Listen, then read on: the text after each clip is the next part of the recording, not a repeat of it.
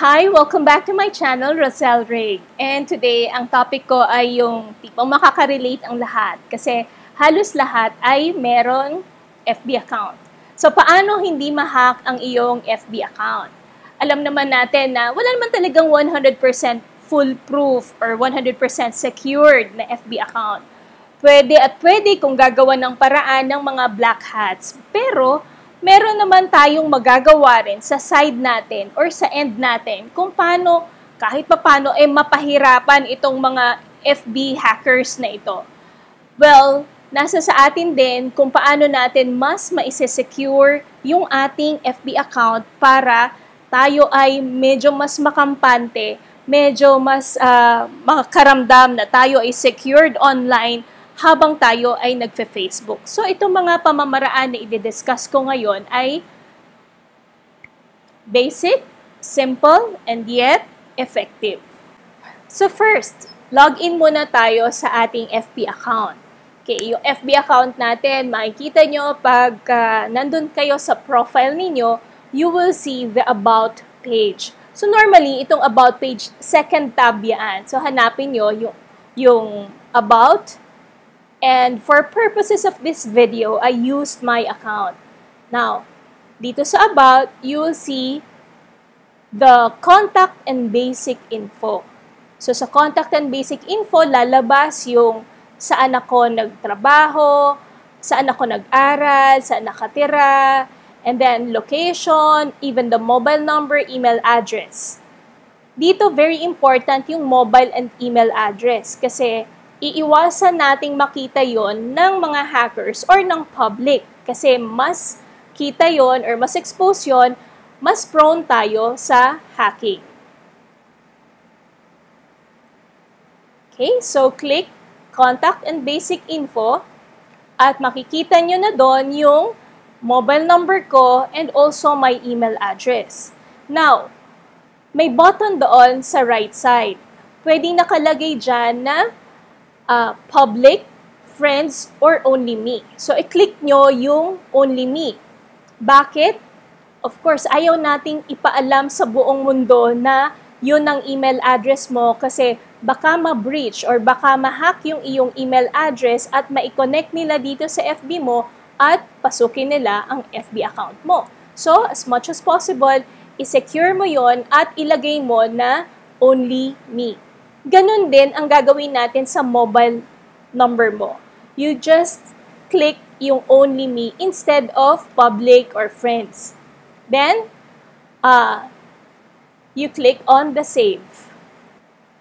Now, it should be hidden from your timeline. Kumbaga, wag nyo na lang i-broadcast. So, hanapin nyo lang yung uh, notification dyan na hidden from timeline and i-click nyo lang po yun.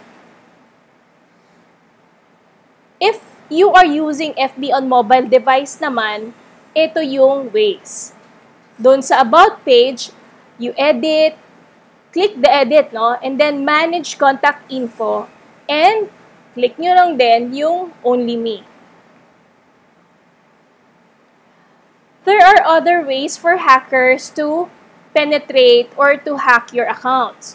Ito nga yung mga via Rouge app, Or ano ba yung Rouge app? Normally, ito yung mga malicious or false app na nandiyan sa inyong FB, uh, ah, sa mga mobile apps ninyo.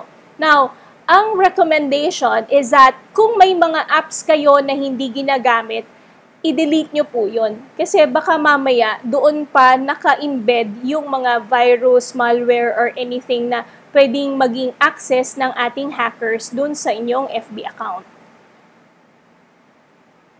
So, disable any apps you don't use. And, of course, syempre, change your password. Ang password, di ba, uh, dapat as often as you can, pwede niyong palitan lagi ang password ninyo. Huwag yung parang isang taon na, nandyan pa rin. Dapat ang password, um, meron kayong schedule talaga ng pagpalit. Either once a month or minsan nga twice a month, no? Kung halimbawa sa tingin nyo, eh medyo mainit sa mata ng hackers yung ang account niyo dahil marami na kayong followers, marami kayong mga, al- alam niyo yun, parang marami kayong friends. So, palitan niyo na lang yung password niyo lagi. But make sure when you change your password, it should be strong yet easy to remember.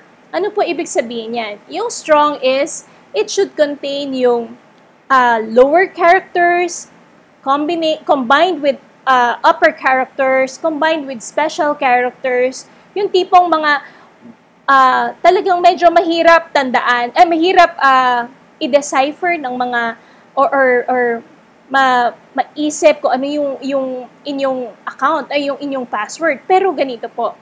Normally, ang kadalasan na nahahack, ang password nila ay sabihin na nating um, Analiza 123456.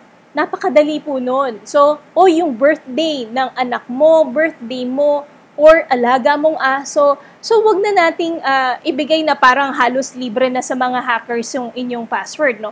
Kailangan itong mga password ninyo ay napakahirap ma-identify even nung mga kakilala nyo.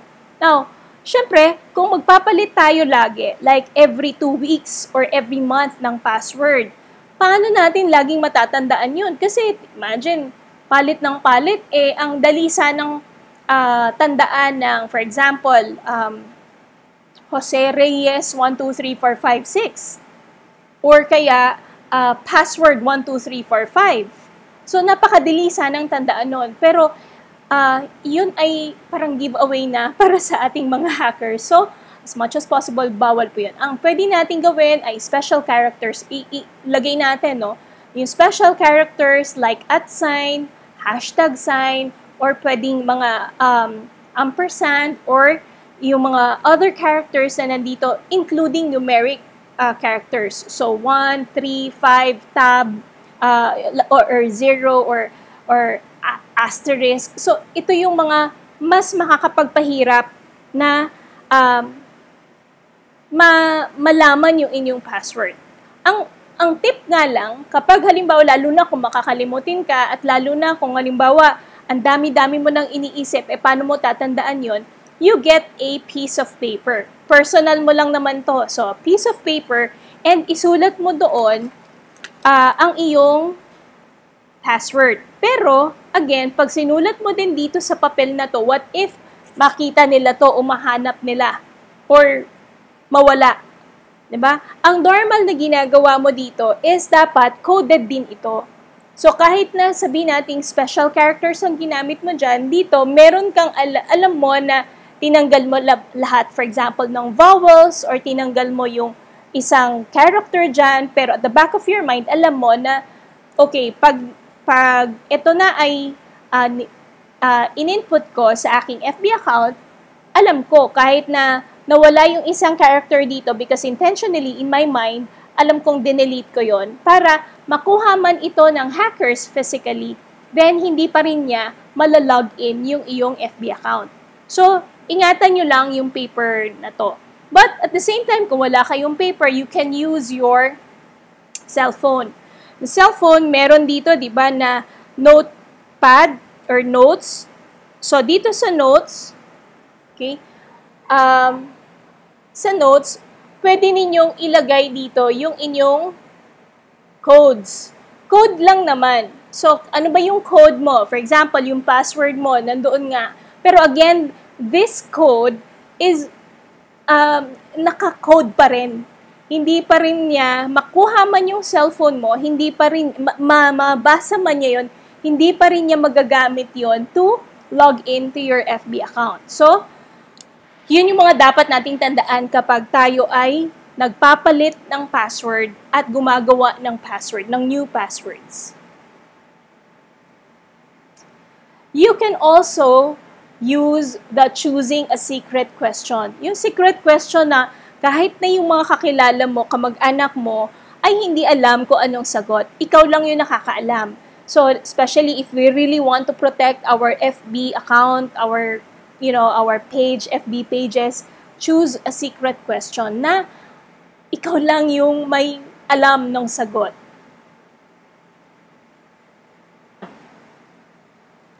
Okay, how about the two-factor authentication? Ang two-factor authentication ay ginawa ni FB na extra security para sa mga users niya. Ibig sabihin, okay, Whenever you want to log in, you enter your FB username or email address along with password as usual. Okay. FB, si FB ah, tinetext kayo ng unique security code to your mobile phone. You read the text from FB and i-enter nyo yung security code na yon doon sa inyong FB account para makalogin kayo.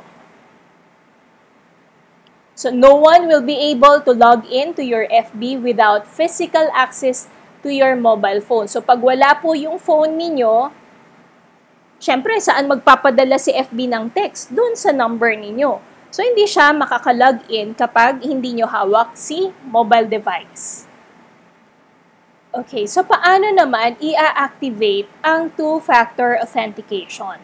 Una, log in to your FB account. Okay, by the way, ito ay sa desktop ha. So, sa down arrow, right side of the blue bar, hanapin nyo po doon yung settings. And then, security and login. Meron po doon na pwede nyo i-click use two-factor authentication. Sa mobile device naman, halos, halos ganun din. So, FB, mag-login ka doon, you'll see the menu, and then click mo yung menu, Settings and Privacy. So, go to Settings, Security and Login, then use two-factor authentication. So, secure your FB account today. Huwag bukas, huwag makalawa, kundi ngayon na po kasi baka tayo ay maunahan ng hackers and magsisi tayo sa huli. Okay? Again, this is Rosel Rig. So please like, comment, subscribe, and push that notification button sa aking YouTube channel, Rosel Rig. Thank you and see you again next time.